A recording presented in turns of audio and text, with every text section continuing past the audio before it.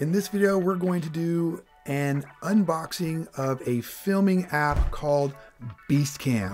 I've only just heard about it thanks to one of my viewers, shout out. And out of curiosity, I'm going to just go ahead, get it, open it, and as I see it for the first time, you will too. So if you're a fan of Filmic Pro or you're a fan of ProTake, you might like this application. So join me now as I unbox it for you and me Yep. for the first time.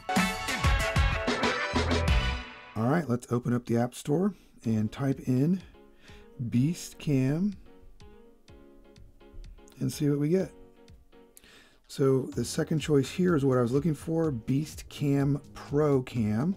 Only 33 reviews so far for the price of $14.99. Nice image here, I think, nice advertisement. So if we look at the ratings, I already see it's 4.6 out of 5 stars, but only 33 ratings. I wonder what to expect. Let's take a closer look at the ratings. So if I click on see all, of course, the first thing we see are the highest ratings. I like everything about this app. I love the layout and the user interface more than all the others. For example, Filmic Pro, Mavis, and etc. I had issues when I first launched with frame rate dropping. While all other phones are VFR, I feel that it's much more improved since I first used it. It is now my go-to app for filming commercials and other video content. Interesting. With the introduction to 10-bit video with the iPhone 12, I've done several tests in pre-post production. This app delivers the best video quality. Kudos to BeastGrip. Okay, you got my attention. Now that's one five star. Here's a disappointed review. What do they say? Two stars only. I've been waiting over a year for this app to release. I have to say, as a huge fan of BeastGrip products, owning almost their entire inventory, I'm extremely disappointed in this app. Oh no. When you try to combine a still photo app with a video app, you become a jack of all trades and a master of none. For what this app offers, it brings nothing new to the table and falls short of what other apps offer at less money. For example, the Pro Camera app for Moment offers more features like an iPad and watch version for a fraction of the cost. Beastgrip should have followed Filmic Pro's philosophy and offered dedicated apps for still photos and video and focused on bringing new pro features, not more of the same at an inflated price. Okay, so we have some good good views and some negative views. I have not got this obviously yet, but let's go ahead and buy it. So let's download, purchase, and let's open. What do we have? Yes, you can access my camera. Yes, you can access my microphone. All right, this looks interesting. Let's switch to landscape mode. So what do we see? Over here on the left, we've got digital slate, hardware stabilization. We have different types of stabilization. Standard, cinematic. So three choices here. Let's go with standard stabilization. Guides down here.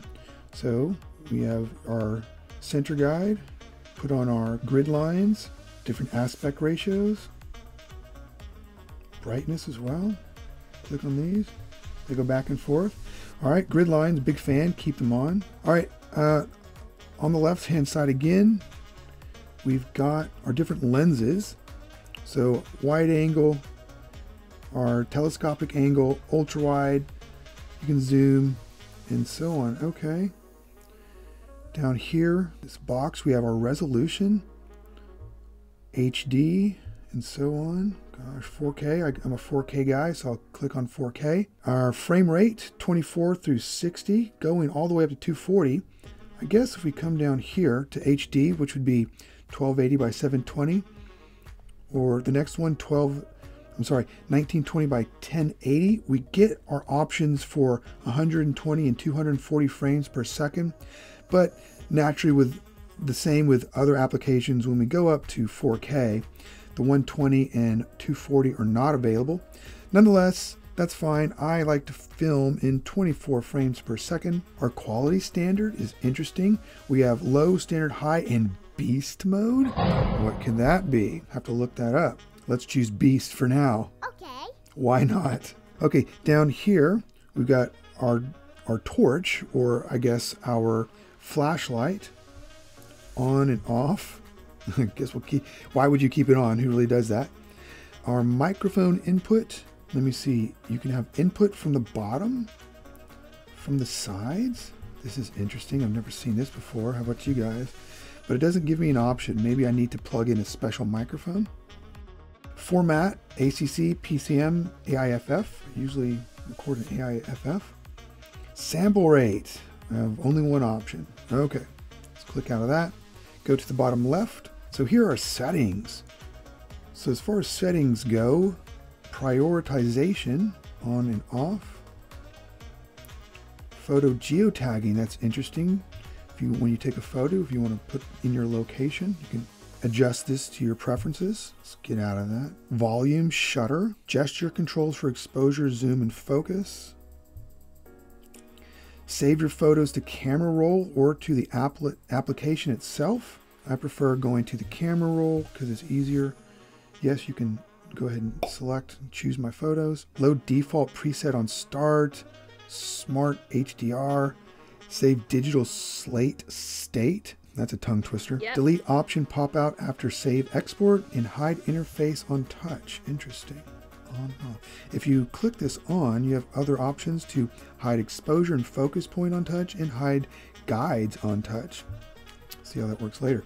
So if you have any gear, you can add maybe beast gear to this and support you can contact the uh, company itself let's get out of settings our settings are here at the top standard 4k at 24 frames per second we've not filmed anything and uh, i guess i have about 189 gigs on my phone and about 90% left on the battery. All right, that's useful information. Down at the bottom, white balance, we can click on that and maybe adjust it. You have a few options here. That's interesting, like most others. But can we manually adjust it? Oh, great. Here on the right, you can adjust the white balance. That's fantastic. That's, that's nice. Or you can auto white balance. I prefer not to auto. I prefer manual. So this option right here, tell you the truth, I'm really not sure what this is. This is an f-stop. I'm not, not certain. I'll have to look at the uh, specs. Next, I'm not sure what this is either. What do you guys think? Now next, of course, we have ISO. Familiar with that? You can adjust your ISO and I guess your shutter speed here. If I'm if I'm filming in 24 frames per second, I guess I'll go to 1 over 48. And you can adjust more exposure right here. All right, fairly interesting. Now in the center, just like most other applications, we can adjust our exposure and our focus. At the very bottom right, this would be any photo that's been previously taken. Right above that, we can switch from a camera mode to a video mode. Interesting. And above our, sh our shutter button, we have visual analytics.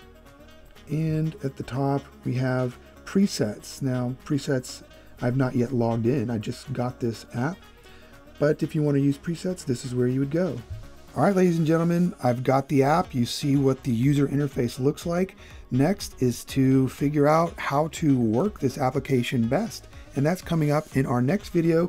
If there's anything you would like to see specifically, simply make a comment on this video and I will try to include it on the next video. Okay, if you thought that was interesting, I'd certainly appreciate a like. And if you'd like to see more stuff like this, consider subscribing, especially since the next video We'll go into the details of how to use this particular application and compare it against your favorites, Filmic Pro and ProTake. Oh, and if you want to see more videos like this, check this out right here.